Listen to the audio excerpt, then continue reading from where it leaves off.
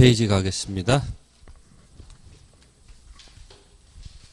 자, 박스 안에 3번 법률에 차고 줄거져 있고 그 다음에 3번에 법령상 제한 있죠. 자, 부동산 공법은 어디와 연관이 있어요? 그 제한이란 말을 기억하란 말이에요. 그래서 부동산 공법상 제한을 모르고 사는 것은 뭐다? 동기의 착오입니다. 자, 밑에 동기의 착오 가로 1번 있어요? 자, 법령상 제한은 무슨 착오다? 그럼 옆에다가 표시할까 안 할까? 표시 X란 말이야. 그러니까 뭐가 아니다? 착오가 아니다. 혹시 법령상 제한을 모르고 샀는데 그걸 만약에 불쌍해서 착오이다 이렇게 해서 취소할 수 있다라고 만약에 허용하면 어떤 일이 발생해요? 그러면요 다, 다 취소할 수 있어. 그 개인적 사정을 보게 되면 딱 해서 뭐다 착오다 해서 뭐 할 수 있다 취소할 수 있다 이렇게 해주고 싶은데 판례가 한번 결정되면 사람들은 그것을 역용할 수 있어요 없어요? 그러니까 역용을 방지를 해야 돼. 그러니까 법령상 제한은 뭐다 계약할 때 표시를 하란 말이야. 내가 이러이런 목적 때문에 토지를 사는 거다. 라고 샀는데 법령상 제한 때문에 사용할 수 없다면 그때 뭐다? 착오가 돼서 뭐 할 수 있다? 취소할 수 있다. 근데 그런 얘기를 아무것도 안 하고 그냥 토지만 모여놓고 토지를 사놓고 나중에 법령상 제한 때문에 사용하지 못했다. 그래서 착오다. 이렇게 주장하게 되면 누구든지 가서 뭐 할 수 있다는 거 취소할 수 있기 때문에 안 됩니다. 자, 법률에 차고 있고요. 그 다음에 중위문 차고 아닌 경우에 거기 1번, 2번 있죠? 면적, 부적, 시가 이런 것들은 중요분의 착오로 보지 않고요. 또 네 번째 것은 착오로 인해서 표의자가 경제적 불이익을 뭐요? 입지 않은 경우 또 뭐 수익권 귀속한 착오 이런 것들은 뭐가 아니다? 중요분 착오 아니니까 중요분 착오가 아닌 경우를 더 열심히 보셔야 돼요. 자, 동계착오 가로 2번 있죠? 가로 2번 왼쪽에다 써보세요. 뭐 표시, 충분, 합의, 불교. 자, 그게 동계착오고요. 자, 110조 갑니다. 110조. 옆에다 써볼까요? 사기 강박.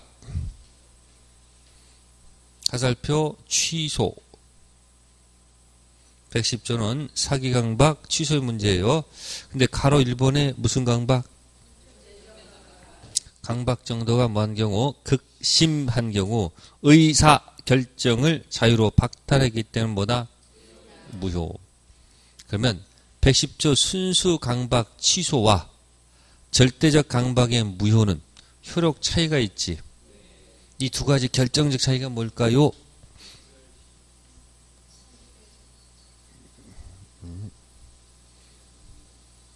146조 추인 기준 3년 법률행위 기준 10년 적용받는 것은 뭐다? 취소이고 무효는 그런 제한이 없기 때문에 차이가 있는 거예요. 그 3년 10년은 소멸시효가 아니고 제척기간 그러니까 절대적 강박이 무효고 110조 강박이 취소다. 여기는 적, 적용 조문 때문에 거야. 몇 조? 146조 취소 관련된 조문은 일정 기간 내 취소 못하면 확정 유효가 되잖아요. 근데 무효는 시간이 지나도 여전히 무효다. 그래서 자꾸 구별하는 거야. 다음 2번에 1번 대리인 사기 제3자 사기에 해당이 돼요? 안 되죠. 왼쪽에다 쓸 말이 뭐지? 써볼까? 대리인 사기. 자, 이제 하나 더 추가합니다. 밑에다가 제3자 사기 X. 그래서 밑에다 무조건 취소.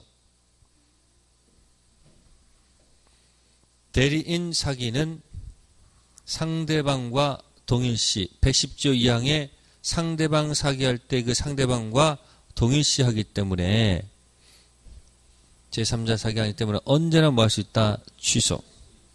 자, 그런데 그걸 열심히 하게 되면 밑에 피용자 있죠. 피용자 사기는 네? 제3자 사기에 해당이 돼. 그래서 무조건 취소가 아니야. 그럼 이런 거 공부하는 방법은 뭐냐면 느낌, 느낌 있잖아. 느낌 뭐냐면 대리인 사기는 무조건 취소란 말이야. 아, 그럼 피용자 사기는 그렇지 않을 거야. 이렇게 느낌으로 이해하면은 시험장에서 답쓸 수 있어 없어? 꼭 이러면 머리로 자꾸 생각하지 마시고 그 오는 느낌 있잖아. 아, 누구 사기는 맨날 제가 맨날 대리인 사기는 제 3자 사기 아니니까 무조건 취소잖아. 그때 옆에다 피용자는 그렇지 않을 걸 한마디만 하면 되잖아. 기억해 두세요. 자, 3번. 일정 수익 보장 광고를 했어요. 근데 청약이 아니고 뭐다? 이건 도대체 뭘까? 자, 수익 보장 광고가 있어요. 무슨 보장? 수익 보장 광고가 있는데 이게 키워드가 뭐냐면 계약서에 기재가 안 돼 있다는 거예요. 뭐요? 신문 광고는 일, 뭐 1억 투자하면 얼마 주겠다고 했는데 막상 계약서는 기재가 안 돼 있단 말이야. 그러니까 뭐 전혀 모르고 계약 한 사람 있을 거 아니야. 근데 보장해줘 안 해줬고. 뭐가 이 사기 아니야? 사기. 근데 판사가 뭐라고 그래요? 수입 보장 광고는 계약서에 뭐가 안 돼 있으면 기재 안 됐으면 이 광고는 뭐다? 아니 청약이 아니고 청약의 뭐다? 유인을 본단 말이야. 청약 카드는 뭐야? 이 꼬시기 위해서 뭐지 이거? 뭘 밑밥이라 그러나? 낚시밥 있잖아 이렇게 던졌단 얘기지. 그걸 덥쓱 물고 뭐야? 끌려왔단 얘기야. 근데 이런 광고가 아직도 많아 안 많아? 근데 사람들은 저 사실은 뭐야? 믿거든. 가끔 그런 경우 있잖아요. 뭐, 일단 들어와서 살아보세요. 나한테 뭐야, 이게. 거의 뭐야. 사기는 안 갈 정도로 다 해놨어. 그러니까 세상에 뭐가 없다는 거. 공짜가 없으니까 절대 공짜 바라지 말고 자기가 뭐한 만큼 노력한 만큼 살아는 얘기예요. 근데 사람이 살다 보면 이게 혹 그렇게 뭐 할 때가 있어 없어? 어느 때? 이게 없을 때. 아, 돈은 막 필요한데 갑자기 뭐야? 돈이 누가 딱 한다면 뭐 자기도 모르게 뭐야? 아, 자기 문제가 아니고 또 혹시 가족 때문에 뭐 아주 돈이 필요한데 없으니까 갑자기 뭐야 이렇게 하는 경우 있단 말이야. 하여튼 힘들어. 그러니까 그런데 가능한 한 관여가 안 되는 게 좋아. 그러니까 중개업자분들이 돈을 많이 많이 버는 것 같아도 항상 뭐 뭐야? 많이 당해. 뭐 한다고? 또 수위를 올렸으니까 또 이게 하다가 또 어디 또 어디 뭐 했다가 머리에서 딱 써놨다가 거기가 어떻게 해버려? 묶여가지고 이러지도 못하고 저러지도 못하고 그러니까 어디 이렇게 매여 있, 매여 있으면 안 돼. 가끔 어떤 분이 내가 아는 분이 이제 뭐 이제 조그맣게 무슨 이렇게 카페 같은 걸 만들어서 그걸 뭐 하려고 그냥 자기 재미 삼아서 뭐 하려고 이렇게 조그만 카페 만들어 가지고 처음에 재밌었겠지 이렇게 나중에 하다 보니까 이게 유명해져 가지고 블로그 유명해져 가지고 계속 뭐야 섬이 찾아오니까 나중에 원래는 토하고 일을 뭐 해야 되는데 쉬지를 못하고 계속 매어가지고 뭐야 그 일을 하고 있어. 처음엔 뭐 하려고 했는데. 그 취미 재미삼아 하는데 나중에 거기 뭐가 돼가지고. 매어 본인 몰라.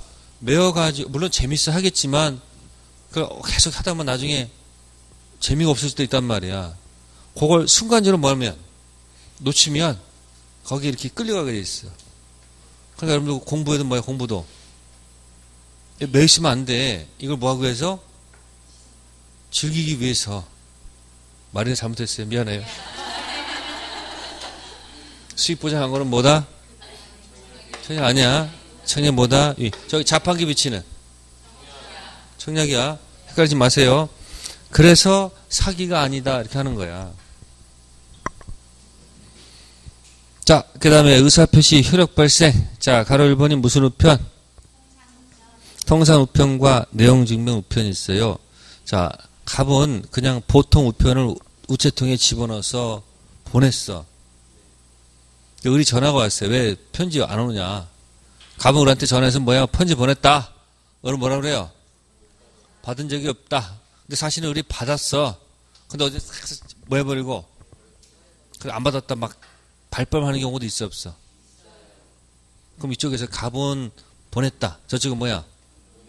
음, 받은 적 없다. 그럼 누가 입증해야 돼? 갑이 입증해야 돼. 그게 무슨 얘기야? 갑한테 입증 책임이 있다는 것은 여기 통상 우편은 추정할 수가 없다. 오른쪽에 써봐. 추정 안 되면 스스로 입증.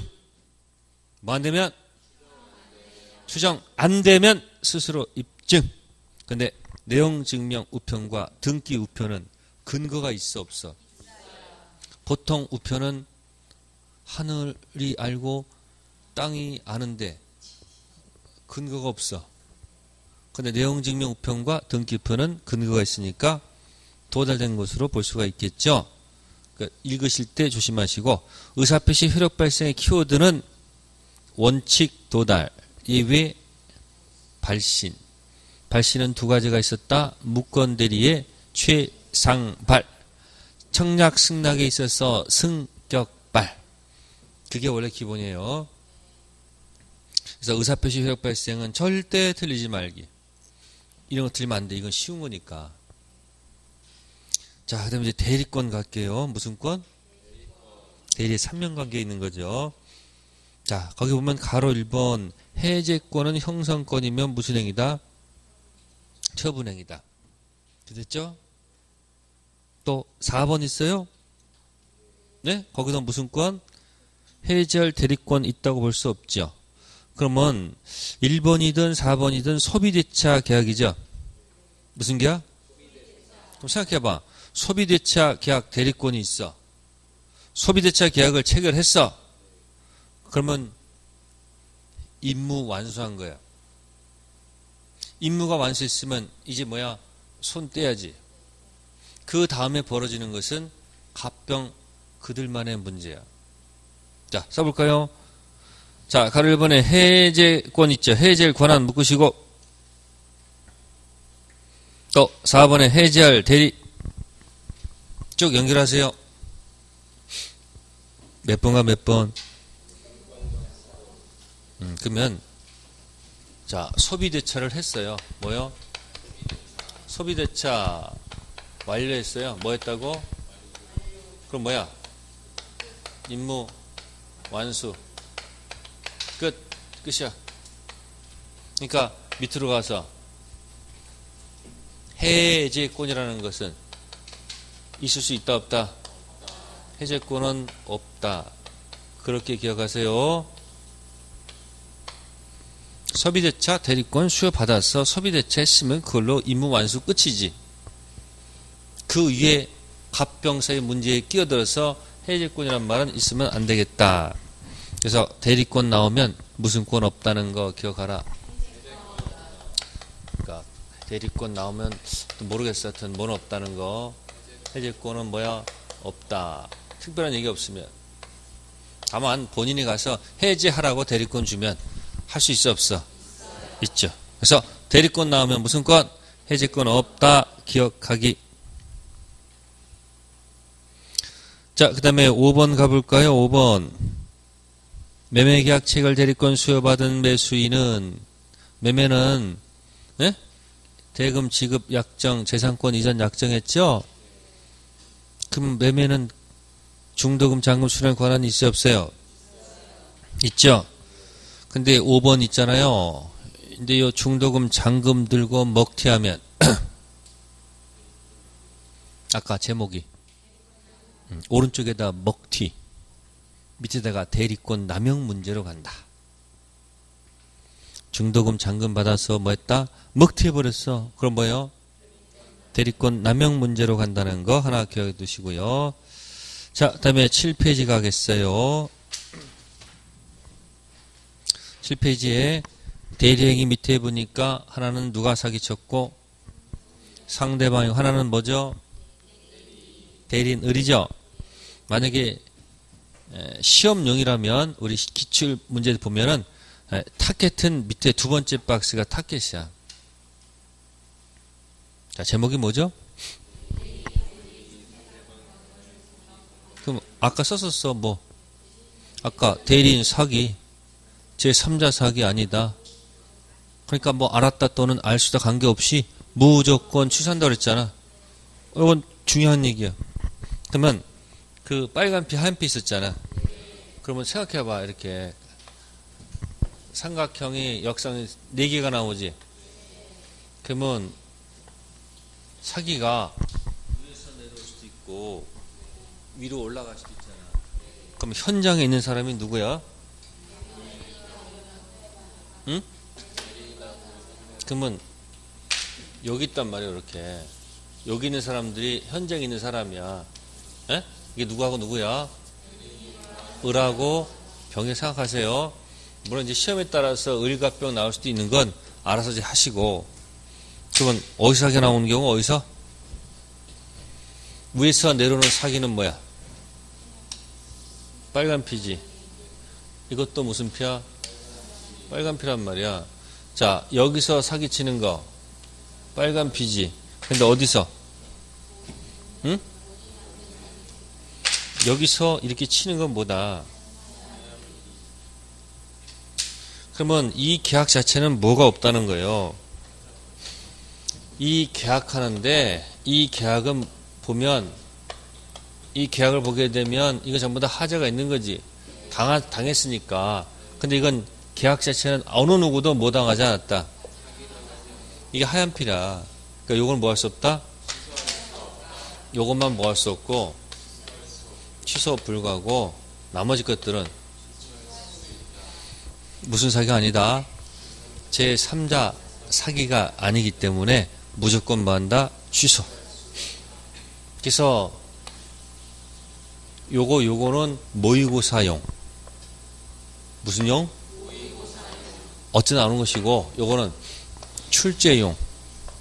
그러니까 여러분들이 모의고사용에 너무 너무 어려운 것들이라든지 이상한 지문이라든지 너무 글자를 배배배배 이렇게 꼰 거 있잖아. 그런 것들은 일종의 무슨 뭐다 모의고사 훈련용이고 실제는 두 가지야. 특히 요거는 요건 뭐야? 요거는 아 요거지 요거 있죠. 누가 사기한 경우 시험에 자주 나오는 거야. 무조건 뭐 한다? 요것도 이렇게 가는데 취소는 얘가 해. 에? 이미 대리인은 당연히 올가는 게 아니고 취소할 수 있는 게 아니고 본인의 뭘 맡을 것? 그래서 거기 두, 두 가지 내용 잘 읽어보란 말이야. 그래서 첫 번째 것은 가서 140조를 확인해봐. 몇 조요? 상대방이 대리인 사기하면 사기 여부는 대리인 기준 판단하지만 취소권은 본인한테 가요. 따라서 이미 대리는 당연히 뭐가 있는 게 아니고 취소권이 있는 것이 아니고 본인의 뭐 맡아라 수권 맡으세요 그런 뜻. 자, 그 다음에 이제 복대리 나오네요. 무슨 대리? 자, 복대리 나오면 복대리 그죠? 뭐 생각나? 음, 변호사, 변호사 이름, 또 다른 변호사. 그죠?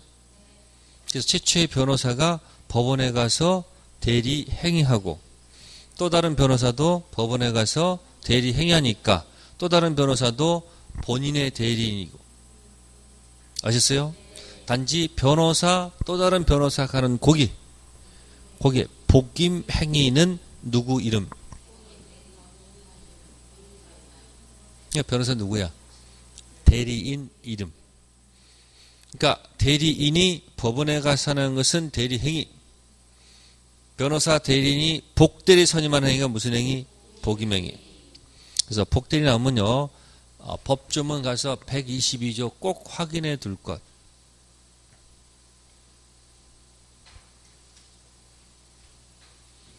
자, 복대리에서는 거기 가로 2번 물었어요. 복대리도 표현대리가 선입할 수 있어요?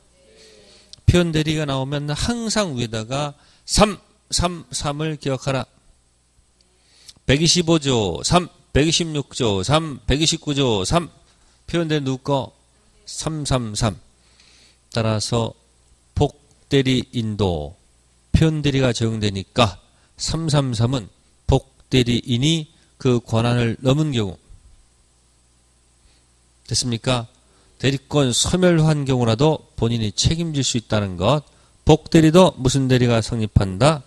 편대리가 성립한다.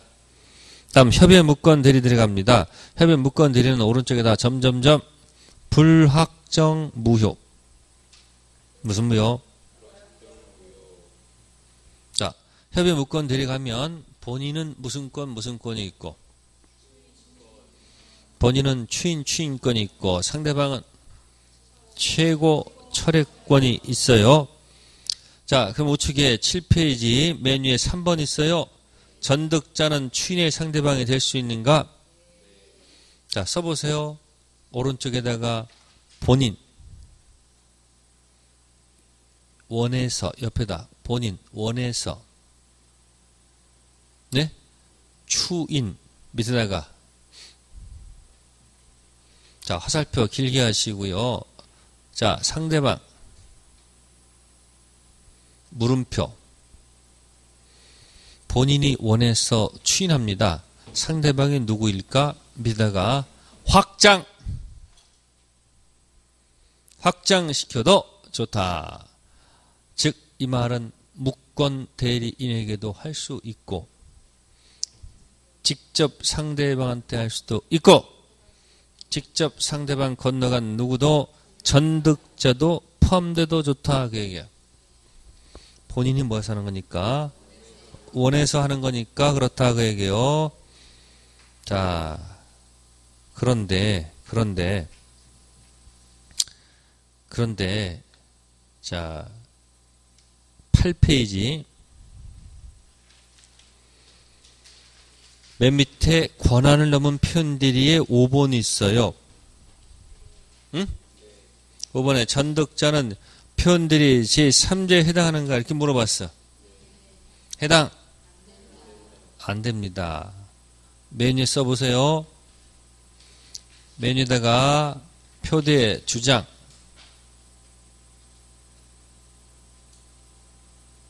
화살표 333 범위 자 점점점 축소할 것. 표대 주장 333 범위는 뭐한다? 축소. 본인 갑은 무권 대리인과 거래한 직접 상대방 거기까지만 뭐한다? 책임지지. 건너간 누구까지? 전득자까지 책임지지는 않는다. 즉 그 상대방이 악이라 한다면은 본인은 책임이 없습니다. 그러니까 건너간 전덕자가 비록 뭐라 할지라도 선의 and 무과실이더라도 이미 병한테 악의이므로 본인은 책임이 없지. 건너간 정이 아무리 뭐라 할지라도 선의 무과실로 책임진다, 안 진다? 안 집니다. 그러니까 법은 일정 기준에 따라서 판단하는 거야. 이 판단이 항상 옳은 거예요? 아니야. 그렇게 그 사람 보는 거야. 만약 오늘 마음이 바뀔 수도 있어 없어? 이쪽으로 뭐라 할수 있어요? 말 바꾼다고 거래 안전을 위한 제도니까 에? 전득자도 포함된다 이리 할 수도 있단 말이야. 근데 지금 현재는 누가 아니다. 그럼 지금 두 가지가 있잖아. 하나는 뭐고? 축소. 하나는 자 무권 대리가 두 가지지. 뭐 협의회 무권 대리하고 표현 대리가 있잖아. 협의 무권 대리에서는 전득자는 뭐야? 포함시켜도 좋지만 표대 주장하는 뭐야? 3, 4, 3 범위는 뭐 한다? 그렇게 결한 말이야. 그렇게 반대되는 얘기를 같이 가져가면 말을 바꿔내도 어, 하나는 확대 효과는 뭐 있더라? 축소 효과 생각하면서 답을 떠듬떠듬이라도 이렇게 뭐야 가서 쓸 수가 있단 말이야. 자, 7페이지 다시 갑니다. 맨 위에 3번 전득자 취인의 상대방이 될 수 있다 없다? 있어요. 자, 그 다음에 4번 취인으로 인정한 경우 있다가 거기 보시면은 6번 있죠? 대리인이 본인을 뭐 했다? 상속했다고 됐어요. 자, 대리인 위에다가요. 불확정 무효. 무권 대리한 것은 무슨 무예요? 불확정 무효죠? 자, 그런데 상속이란 말 있지. 상속 위에다가 확정 유효. 불자 불확정 무효 상태에 있다가 그 지가 잘못해서 판 토지를 상속받은 순간 뭐가 돼? 그 계약은 확정 유효가 된단 말이야. 그러면 본인의 추인, 추인 거절을 상속받았다 할지라도 무권 대리인은 그 추인 거절권을 행사하는 것은 신의 측에 반한다. 자주 나옵니다. 다음에 밑에 박스에 써요. 민법 135조 1항. 타인의 대리인으로 계약을 한 자가 그 대리권을 증명하지 못하고 또 본인의 추인을 얻지 못한 때에는 상대방 선택에 쫓아 계약의 이행 또는 무슨 책임이 있다? 손해배상 책임이 있다고 규정하고 있죠. 이 규정에 따라 무권 대리인의 상대원 책임 무슨 책임이다? 키워드입니다. 무슨 책임? 무과실 책임이에요. 아시겠습니까? 누구를 보호하기 위해서? 상대방이에요. 대리권 흠결에 관해서 대리인에게 과실 등의 규책 사유가 있어야만 인정되는 것은 아니고 무권 대리 행위가 제3자의 기망이나 문서 위조 등 위법 행위로 야기되었다 하더라도 책임 못 되지 않는다. 아, 무슨 책임? 음, 그 물어볼게요. 법정 대리인, 복대리 들어가면 아까 책임이 두 개가 있다고 그랬지. 네? 법정, 복대리 들어가면 법 책임이 두 개가 있어. 첫 번째 책임은 일단 무능력자 본인한테 자식한테 어떻게 해야 돼? 챙길 때. 과실 유무를 따져 책임져? 전적으로 뭐야? 무과실 책임을 진단 말이야. 자기 책임으로 언제든지 복대리 선임할 수 있으니까 책임도 뭐다? 전적인 무과실 책임이야. 그런데 법정 대리인이 부득이한 사유로 만약에 뭐하면 선임하면 이미 대리의 선임 감독상 책임으로 가게 돼 있어. 그 선임 감독상 책임을 뭐라 한다? 과실 책임. 됐어요? 그러니까 법정 대리인 처음 출발 책임 뭐고 무과실 책임이고 문제가 있을 때는 약간 가실 책임. 그러면 요거도 무권 대리인의 책임질 때도 어떻게 되는 거야? 무슨 책임이야? 무권 책임은 힘들면 이렇게 생각해. 무권 대리니까 무. 무. 무과실 책임 되죠. 무슨 책임? 자, 전적인 책임져야 됩니다. 하나 기억하세요. 자, 넘기셔가지고 표현 대리가 있어요. 자, 표현 대리는 상대방 구하는 거죠. 표현 대리는 무권 대리의 일종입니다. 그러면 여러분들 대리는 종류가 몇 가지지? 세 가지죠. 첫 번째가 뭐고? 대리권이 있다. 어? 대리권이 있다. 유권 대리. 정상이죠? 두 번째는 없을 묻자 무권 대리. 무권 대리는 두 가지가 있어요. 협의 대리. 하나는 뭐죠?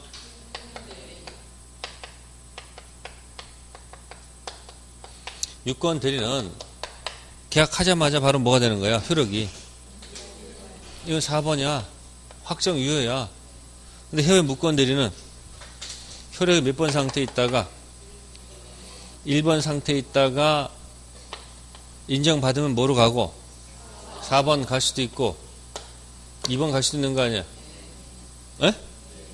그럼 혹시 뭐가 되더라도 4번 되는 경우 하더라도 자 표현 대리는 뭐야? 불확정 뭐 있다가 주장해서 뭐가 되는 거야? 이건 4번이 되는 거야. 뭐가 되는 거예요? 주장하는 거니까. 그러니까 표현 대리는 소속이 어디지? 무슨 대리지? 무슨 대리가 아니다. 그러면 유권 대리 주장 가운데 표현 대리에 관한 내용이 포함이 되어 있지 않단 말이야. 유권 대리 주장 속에 무권 대리에 속하는 표현 대리에 관한 주장이 포함되어 있을 수가 없다. 따라서 표현 대리를 주장하지 않는데 법원이 심리 판단할 필요는 없다. 항변권도 법원에 와서 뭐 해야 돼요? 주장해야지 판단해 주잖아요. 표현 대리도 뭐 하지 않으면 주장하지 않으면 법원이 판단해 주지 않는다. 1번이고요. 다음 가로 2번 표현 대리가 뭐 하는 경우 성립하는 경우 과실상계 법리가 유추 적용되는가? 과실상계 법리 유추 적용하지 않고요. 전적으로 누가 책임진다? 네, 본인이 책임진다는 게 판례 태도. 다음 대리권 수여 표시 표현 대리 있습니다. 자, 1번에 명의대 가로 묶으세요. 자, 명의를 뭐 해주는 경우도 있어요. 그러니까 지금 우리 병하고 뭐 계약을 한단 말이야. 자꾸 뭐 행위를 한단 말이야. 근데 상대방은 이름이 적혀 있는 사람이 현재 있는 사람을 뭐로 생각하고 그 사람인 줄 알고 뭐 하는 거야, 지금? 행위를 하고 있는 거 아니야? 나중에 알고 보니까 이름만 뭐 한 거야? 빌린 거야. 그러면 병 입장에서는 그 사람이기 때문에 내가 행위를 했는데 알고 보니 지가 아니는 거지. 그럼 갑이 어떻게 돼요? 본인 이름 빌려준 자도 뭐 하는 거야? 책임질 수밖에 없는 거예요. 그래서 대리권 수혜 표 시 표현 대리가 적용될 수도 있다. 자, 그러면 대리권 수요 표시 표현 대리 있죠? 표현 대리 위에다가 옆에다 점점점 3 권한을 넘은 표현 대리 옆에다 점점점 3 대리권 소멸 후 표현 대리 옆에다 점점점 3 뭐죠 이게? 표현 대리는 333이 주장하는 거예요. 자, 이 중에서요. 딱 독립적으로 만약에 문제가 나오면 권한을 넘은 표현 대리가 타겟이야. 자, 가로 1번. 공법상 행위도 기본 대리권이 될 수 있을까요? 네, 있습니다. 그 이유가 뭘까? 자, 기본 대리권이 공법상 행위이지만 행위 자체가 사법 행위이기 때문에 기본 대리 권한에 공법 행위가 포함돼도 관계가 없는 거야. 그러면 이 공법행위가 두 군데밖에 없어. 107조. 에? 그 다음에 126조. 107조는 공무원 사직은 공법행위니까 107조를 적용하지 않는다. 126조의 권한을 넘은 표현들이 있을 때 그 권한은 공법행위라도 관계가 없다. 포함돼도 좋죠? 그 다음에 2번 볼게요. 담보권 설정 대리권 수여받은 자가 부동산을 자신의 명의로 뭐한다? 이전 등기를 한 후 제3자한테 격려했죠? 그러면 가로 2번 옆에다 써보세요. 현명했어요? 안 했어? 아니 자기 이름 앞으로 뭐해서 등기해서 팔아 넘어갔잖아요. 이건 현명이 없다는 얘기는 대리인 자격으로 판 것이 아니죠. 이와 같은 경우는 표현 대리를 적용할 수가 없어요. 이때는 그냥 무효 등기 공신력 없다. 이건 해도 해도 너무하지 않느냐 얘기죠. 내용이. 근데 그 밑에 3번을 보세요.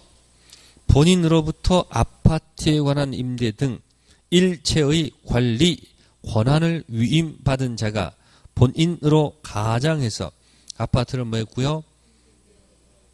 그럼 병인 물론 갑의 거야. 아파트 임대 권한을 받았죠. 근데 우리 병한테 가서 임대차 하면서 마치 자기가 뭐인 것처럼 본인인 것처럼 가정했다는 얘기야. 그럼 병은 그 갑인 줄 알고 계약했단 말이야. 그래서 임대해서 차임도 내고 내고 내고 하다가 다시 자신을 본인으로 가장해서 임찬에게 뭐 했어요?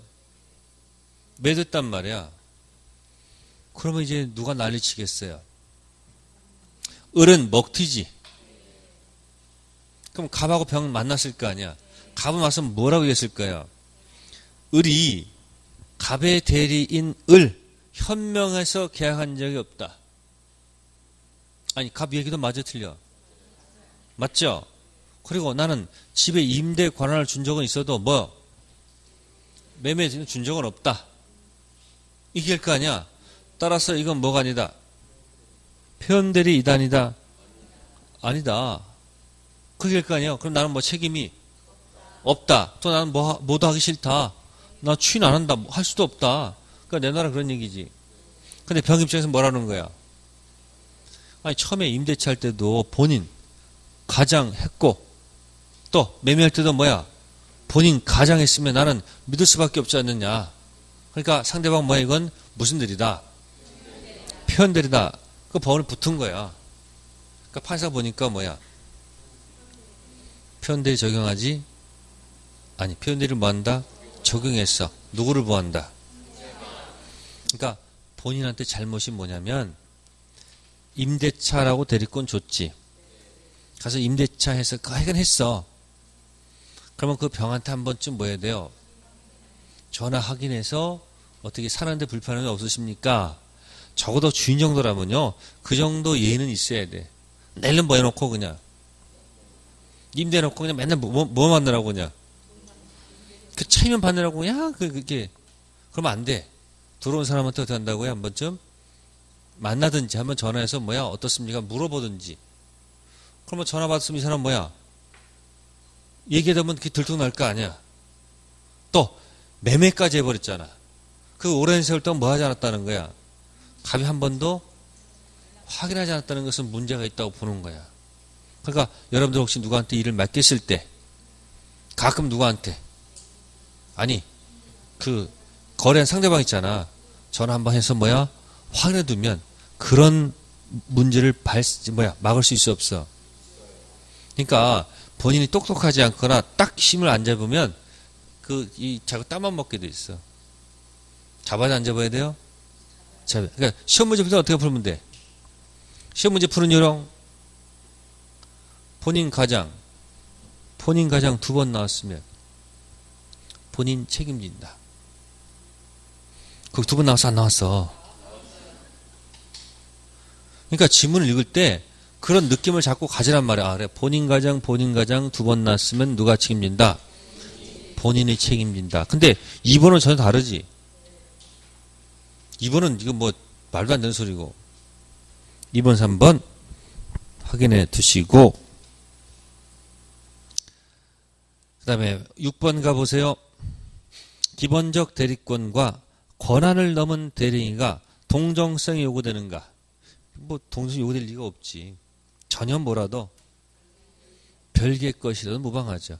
아까 그 본인 가장, 본인 가장 두 번 나면 본인이 책임지는데 같냐고 그게 전혀. 전혀 다르더라도 본인이 뭐 한다? 책임진다.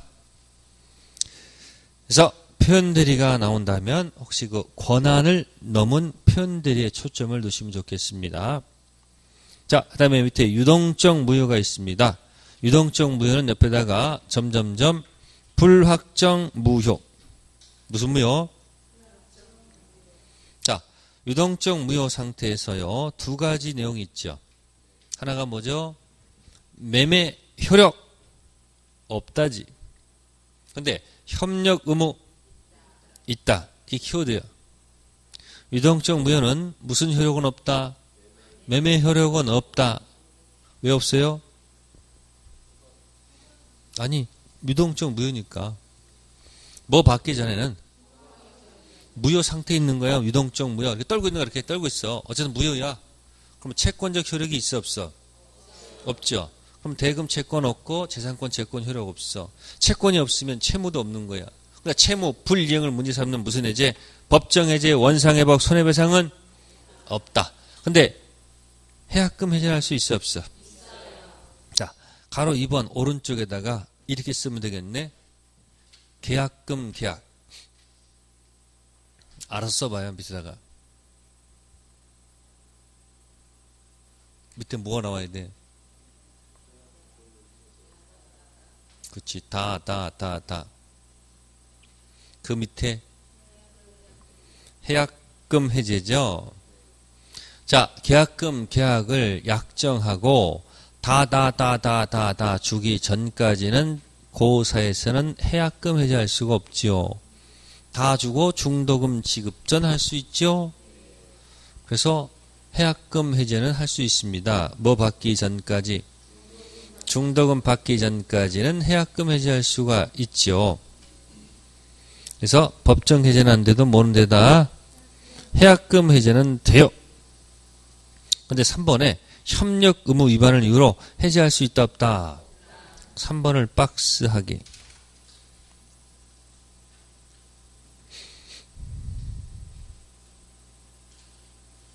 협력 의무 위반을 해제할 수 없습니다. 자, 협력 의무는 있어요, 없어요? 자, 소 제기할 수 있어요? 협력 의무 위반 시 소 제기할 수 있어요? 자, 협력 의무 위반을 이유로 손해배상 청구할 수 있어요? 있어요?